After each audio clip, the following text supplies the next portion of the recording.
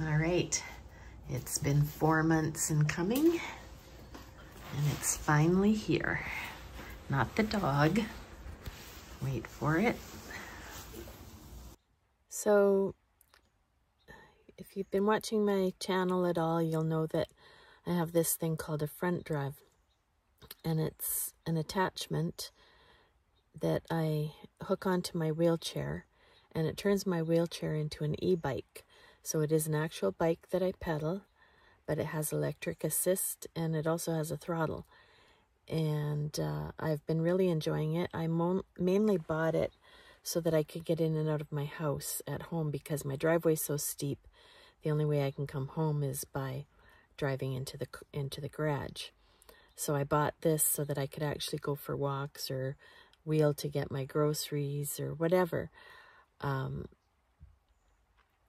but I've only been able to use it from home because it's really heavy and I can't get it into my van. So I um, have had a company build me a cargo box for it. I've been waiting since early July. I ordered a box to put on the back of my van that I can carry my front drive around with me. That's my front drive down there. Oh, it doesn't look like I can zoom in on it. Well, anyways, you'll see more of it. So I ordered this in early July. It is now September 7th and I still don't have it, but progress is being made because as you can see, my garage is empty. So they've had my van for, it's Saturday.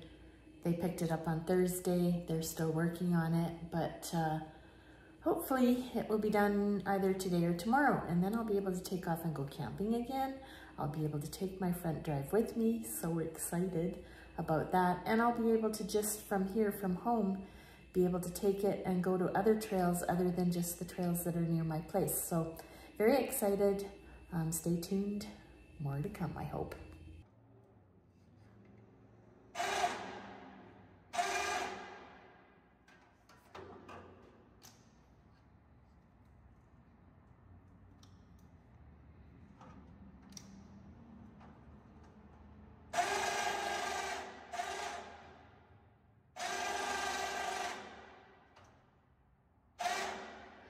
Unfortunately, things don't always go according to plan.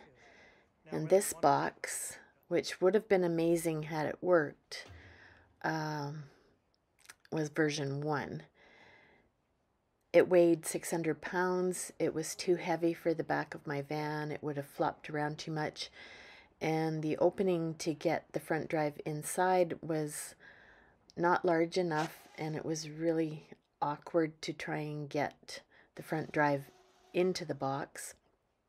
I was really excited about having a sealed box like that. I wanted everything to be protected from the weather when I was traveling. And I wanted to be able to carry a few extra things in there, particularly a battery for charging the front drive when I'm not using it.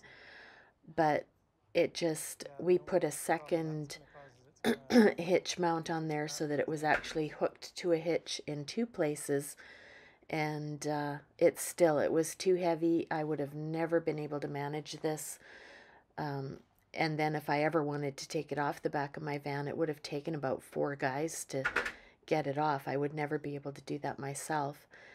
So this was version one and it didn't work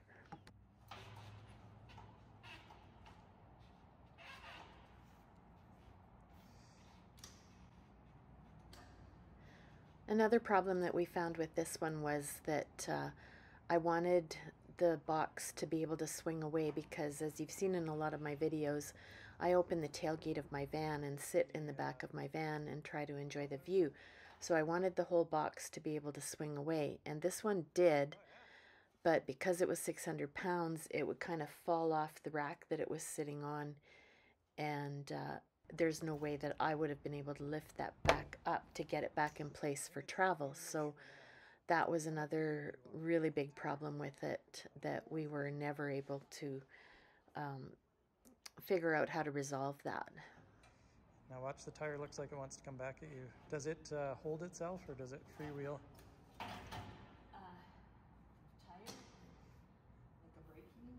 So after three months of trial and error with this box, it didn't work and the company decided that they could not do it. It just was going to be too heavy and there was no way that it was going to be something that was easy for me to use. So big, huge disappointment and three months of a waste of time and I'm back at square one. On what I wanted, obviously it was going to be too heavy. So I had to do something a lot lighter. I was struggling with the emotions of feeling like, was I ever going to be able to figure this out? And was I ever going to be able to take my front drive with me um, anywhere? Uh, I got a sense of the freedom, like I just mentioned in the last clip. I got a sense of the freedom of being able to have that with me as I travel. And I really like that. And I really want to be able to do that but I couldn't find anybody who was going to build this thing for me. Finally, I found a guy about 20 minutes from where I live, and he was able to build it. And so this is what he came up with. All right, it's been four months in coming, and it's finally here. Not the dog. Wait for it.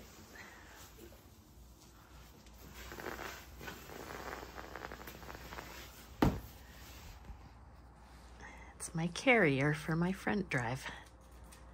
Just got it put on today.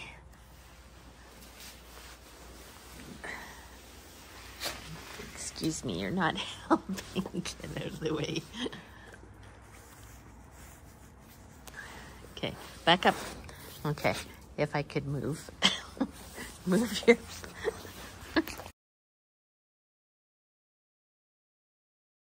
Yep.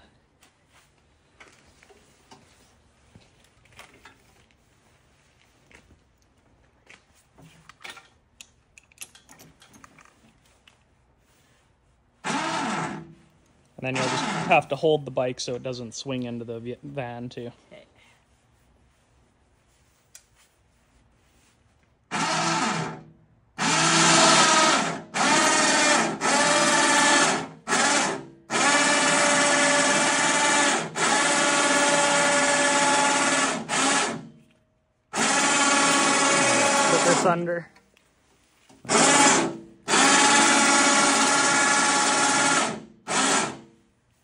So then I just push it. Yeah. Push the. And then just careful it doesn't swing into the van itself. Okay. You might have to get close and put a brake on. Almost have to swing it from up there.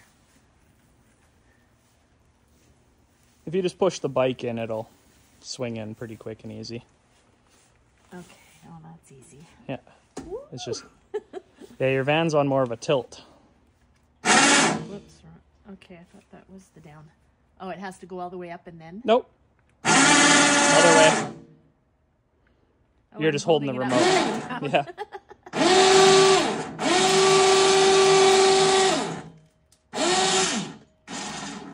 Okay, so that's done. Yep. Let's tuck that in there. And And then either you'll have to let this down more, or you can just pull this red knob out. So this is the easy way. You just turn that, that free spools, so oh. then it'll just move on its own. Okay. And I'll have to beat a little. So down is down. Yep. Am I doing the right one? Yep. I don't see anything moving. It's going. It's just a oh, little I slow. Yeah, yep. Yeah. Until it stops. Yeah. Yeah, it'll self-stop too.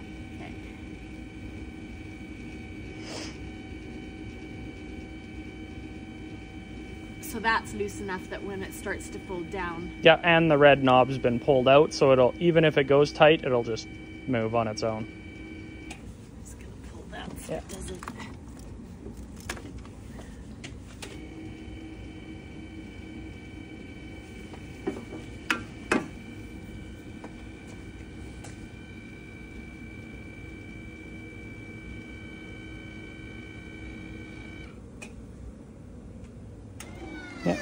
Oh, there's the pin. Sorry, I forgot about the pin.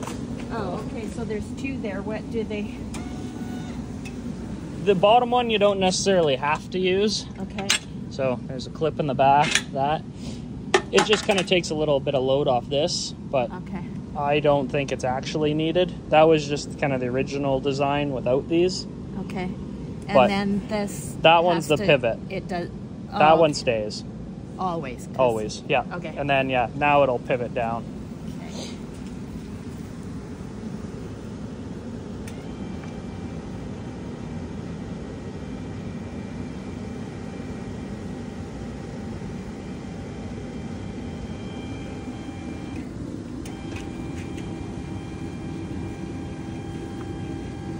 And then at this point you want to swing this one Oh, that one. over Sorry. that yeah, I way. was going But you're gonna kind of go over top of your lines, but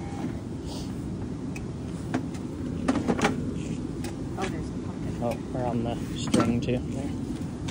Yeah, just like that. That's it. That's it. And then I got to tie it down somehow. Yep. Okay. Perfect. So, as you can tell by the smile on my face, I'm really happy that this is finally uh, to a point that I can actually use it. There's still some work that has to be done. I really want it to be sort of weatherproof for traveling. Um, I don't want the dirt grime, the road grime to come up and jam my gears and everything. And so I'm having a tarp built for it. I've been to a company that is going to design something for me so that it will be weatherproof as I travel.